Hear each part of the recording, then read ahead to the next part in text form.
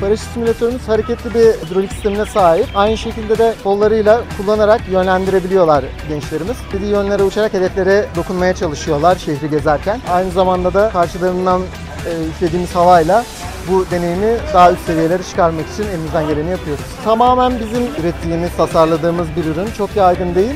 Ürünlerimizin %90'ı yerli milli firmalardan ölçüp ya da destek alıp onlardan malzeme tedariğimizi edip kendimiz üretiyoruz. Yazılımları dahil kendimiz geliştirmeye çalışıyoruz.